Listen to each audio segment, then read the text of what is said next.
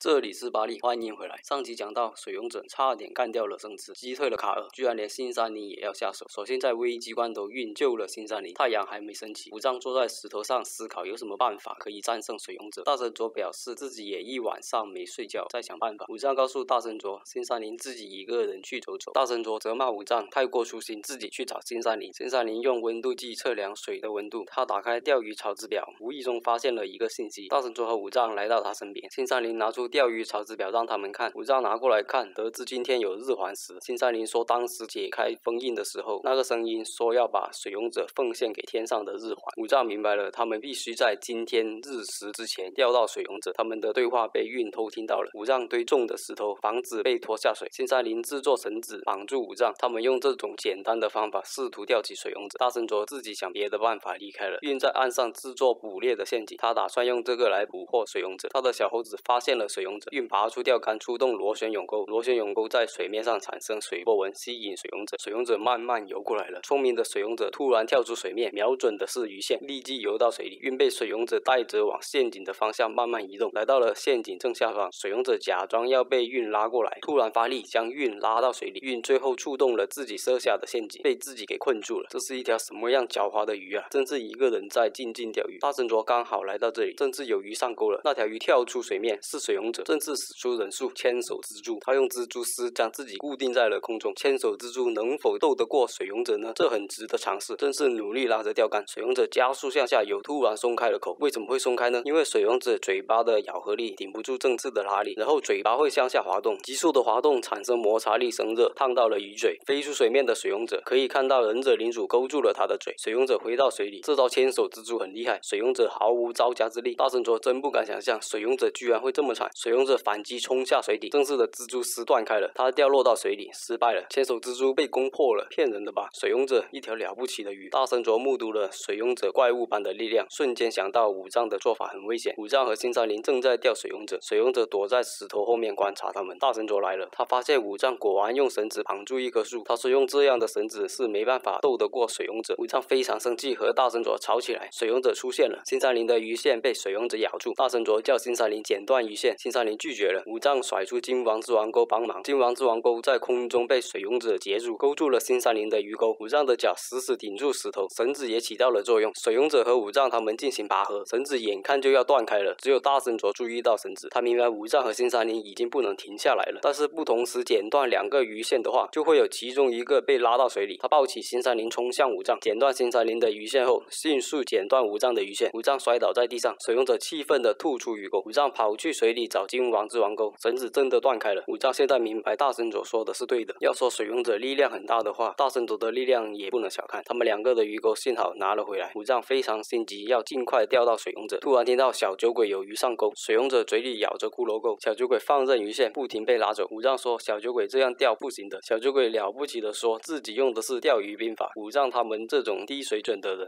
是无法理解。武藏一被激怒就发火，被大神佐按住头，火气压了回去。小酒鬼按了一一下钓。竿的按钮，水里挣扎的水勇者突然没了动静，小酒鬼不断收鱼线，水勇者又有了动静，小酒鬼又按下了钓竿的按钮，原来水勇者被电击了。大神卓认为小酒鬼这样做太过分了，他抛出金王钩拯救水勇者，水勇者将电流传到金王钩，顺势得救了。大神卓大骂小酒鬼使用卑鄙手段，小酒鬼又嘲讽他没本事。大神卓一被激怒就发火，被五藏按住头，火气压了回去。大神卓的金王钩吸引到了水勇者，长嘴骷髅钩刚好落在他前面，并抢走猎物。五藏使出螺旋效应。金王之王钩神奇的弹起来，风向飞到了金王钩身边。新三林也抛出金王钩，三个金王钩的力量够吗？水勇者游过来，水勇者追着三个金王钩，目标是咬住他们的鱼线。长嘴骷髅钩在水里活跃起来，三个金王钩保持队形，非常诱鱼。水勇者又跟到岸边游回去了。小酒鬼觉得武藏他们很烦，暴躁起来。长嘴骷髅钩弹飞了金王之王钩，长嘴骷髅钩发挥出全部实力，水勇者被吸引了过去。对于水勇者来说，长嘴骷髅钩更具有挑战的魅力。上钩了，小。酒鬼的脚滑了，掉落到水里。水勇者又追着三个金王钩了。武藏说：“大神卓是对的，越心急就会越被水勇者击败。”他们又收回鱼钩。水勇者跳出水面，也没能咬到鱼线。被戏耍的水勇者过来拍起水浪泄愤。水勇者终于被搞得心态炸了。武藏终于找到了可以战胜水勇者的方法。武藏出动大口钩，他继续使用这个战术，令水勇者着急，正式来借鉴武藏的作战方法。小酒鬼又来挑战水勇者了。他的长嘴骷髅钩发出刺耳的震动声。于是最依赖。听觉的动物，这种方法来钓鱼是最有效的。骷髅钩被咬住，小酒鬼拉起钓竿，但是失手了。五藏尝试激怒小酒鬼，小酒鬼完全不为所动。糟糕了，已经开始出现日食了。五藏集中精神，他的精神力强的离谱，小酒鬼变得不敢轻视这个对手了。运来到政治这里搭话，看他在做什么。正是看穿了运现在很心急，失去信心。运生气的走开了。他注意到政治的衣服湿了，在想他到底在水里做过些什么。运抛出青蛙鱼钩，青蛙鱼钩在荷叶上跳动，很逼真。不愧是在森林长大的，对小动物的动作细节很清楚。政治充满信心，抛出鱼钩。忍者领主在水底刮起沙子，水勇者心烦气躁了，他咬住了政治的鱼线。政治依然很淡定的拉着钓竿，水勇者突然停了下来，在他面前居然同时出现了多条和自己同等级的怪物。他被激怒了，将他们这些对手逐个击破。原来是镜子，水勇者刚才击败的对手只是自己的倒影。他发现还有一个对手。这时忍者领主经过，水勇者视为镜子里的对手，立即咬住忍者领主。潜到水里的运终于明白政治的战术，真是个了不不起的人。正是在拼命和水勇者搏斗，即便消耗了体力的水勇者依然非常难对付。水勇者突然跳出水面，在空中还能做出二段动作，扯断了鱼线，真是瞬间感到无力，让水勇者跑掉了。水勇者又来到武藏他们面前示威，他们注意到了水勇者嘴里有忍者领主。小酒鬼已经能猜到正治曾经和水勇者搏斗过，政治没能成功，他就放心了。长嘴骷髅钩发出噪音，水勇者已经狂暴化了。武藏看着水勇者，重新拾回自己信。他使用波动抛竿，大口钩在水面上下跳动，吸引了水勇者咬住鱼钩。武藏拉着钓竿摔倒了下去。武藏拜托大神卓和新善林不要过来，他一定要用自己的力量战胜水勇者。武藏是真的拼尽了全力，水勇者被拉在水面上疯狂挣扎。武藏趁此机会加大力度，水勇者最后的挣扎。武藏用尽最后一份力，拉起钓竿，整个人往后面倒下。水勇者飞到了地面上，成功了。他高兴的快要变身成超人。一转眼天已经黑了，太阳马上就要消失了。他们发现了有一点亮光，光线所指的地方是一个祭坛。他们三人抬着水勇者抛了下去，祭坛中间触发了机关，伸出石柱，拱桥上的石头都裂开脱落了。石柱里破壳而出的是一条蛇怪物。原来这些拱桥是这条蛇的身体。这条蛇只追着五藏，五藏跑到一条死路，巨蛇向着五藏露出锋利的牙齿冲了过去。巨蛇并没有伤害五藏，它的舌头拖着一个不死鸟形状的海参钩。五藏接下了海参钩，巨蛇就回去一头刺穿岩石，变回了拱桥。水勇者是五藏自己钓上来的，所以认五藏是主了。长嘴骷髅钩飞了过来，抢走了海参钩。小酒鬼承受住了海参钩的伤害，又站了起来。海参钩被小酒鬼身上的邪恶力量改变成为魔鬼鱼钩。小酒鬼后跳到了树上就跑掉了。五藏千辛万苦刚拿到的海参钩就被抢走，怎么会有这种事？这里是位于中国的钓神山，其中一个海参钩就在这里。这里即将举行新一届世界钓鱼大赛。五藏他们三人一下火车就急忙跑到街上，呈现在眼前的是壮观的景象。这时候下车的吉姆告诉他们自己要去买车票，下一班车开之前他们可以自由活动，他们可以去市集后面的池塘钓钓鱼。大神卓这个胖子逛市集当然是被美食吸引住，他凑热闹去看看，还叫上他们过来看。是一个可爱的小女孩浮空举起钓竿，小女孩注意到了五藏的鱼缸金印钓竿，她想要五藏来和自己比试一下。五藏表示没兴趣，他又问大神卓，拉起大神卓的手，大神卓被色诱到了，开心的答应了。小女孩名字叫张美美，大神卓色眯眯的看着张美美，大神卓试了好几次没成功，终于有一次成功了。张美美夸赞大神卓厉害，又邀请他再玩别的游戏，大神卓无脑答应了。张美美还说如果赢了要拿对方的一样东西，大神卓开心答应了。这个游戏要打中五个杯子中间的才算成功，大神卓出手了，被他打中中间的杯子了，可是连前面的杯子也打中了，太可惜了。大神卓现在轮到张美美了，张美美出手了，她熟练的抛竿动作操作起来，鱼线飞到中间，立即停下来，扣进了杯子。张美美开心说自己运气真好，居然打中了。张美美说要拿大神卓的王者钓竿，说完直接就抢了过来。大神卓哭求五藏帮自己拿回王者钓竿，没了王者钓竿要怎么样参加钓鱼大会？五藏答应了。张美美又提出谁赢了就拿走对方的钓竿，这次他们要击倒第二个和第四个杯子。五藏直接出手，打出 S 型的轨迹，成功击倒了杯子。轮到张美美出手了，她抛出的力量太强了，撞倒了第二个杯子，鱼钩飞到天上。可是还没完，她改变了鱼钩的运动轨迹，鱼线垂直落到了第四个杯子里。张美美又做到了，这次难度更高，要穿过两个杯子中间，然后进到桶里面去。五藏直接答应了。张美美认为根本没人能做到，五藏在思考有什么办法可以做到。桶和杯子中间只有很小的空隙，他回想到了张美美刚才的做法，他决定就用这个做法试一试。抛出的力量很大，在刚刚超过两个杯子的位置，立即停住转左，杯子差点就被击倒了。然后他使出波动抛竿，鱼钩垂直落下，再加上了向前的动力，真的进到了桶里。五藏终于松了一口气，他说全靠这只余光金印钓竿。张美美还给了大大神镯钓竿，他拜托武藏借用一下余光机硬钓竿，有了这支钓竿，自己也一定可以做到的。武藏被可爱的张美美拜托，还是借了出去。张美美说现在要抛竿了，请武藏往后退，一声谢谢，就跳到了很远的地方溜了。武藏他们拼命追着张美美，熟悉这个小镇的张美美一下就不见了踪影。回到车站，武藏气炸了。吉姆说自己有后背的钓竿，不怕没钓竿用。大神卓弱弱的向武藏道歉，武藏毫不客气埋怨大神卓。大神卓站起来，他说要去厕所，自己一个人走开了。大神镯心里觉得很内疚。巴士已经到了，武藏和新山林去找大神卓，附近都没发现他。武藏认为他是去追张美美，要拿回钓竿。他们追了上去。大神卓来到市集后面的食堂，他发现了张美美在钓鱼，冲过去要抢回来钓竿，被张美美躲开后，求求张美美还回来。张美美要大神卓和自己来比试，就还给他。大神卓完全不是张美美的对手，他只有看的份。大神卓眼火爆，不管这么多了，他直接走进泥潭，也不怕出不来。终于有一条鱼上钓了，武藏他们来了，张美美请他们救大神镯出来。大神镯誓死要钓起鱼，赢回钓竿给武藏。他成功钓到了那条大鱼，可是他的脚已经完全动不了了。武藏伸出鱼光金印钓竿拉回大神镯。武藏为了救回自己的朋友，不惜牺牲这只钓竿。鱼光金印钓竿回应武藏的心情，将大神镯拉了回来。大神镯钓起大鱼，非常高兴，向武藏炫耀，此时他们之间的友情是多么的宝贵。可是他们错过了巴士。张美美说可以带他们走捷径，拦下巴士。他们就这样和吉姆失散了。好，这期故事就讲到这里。如果喜欢我视频的话，请各位麻烦关注我的频道哦，谢谢各位。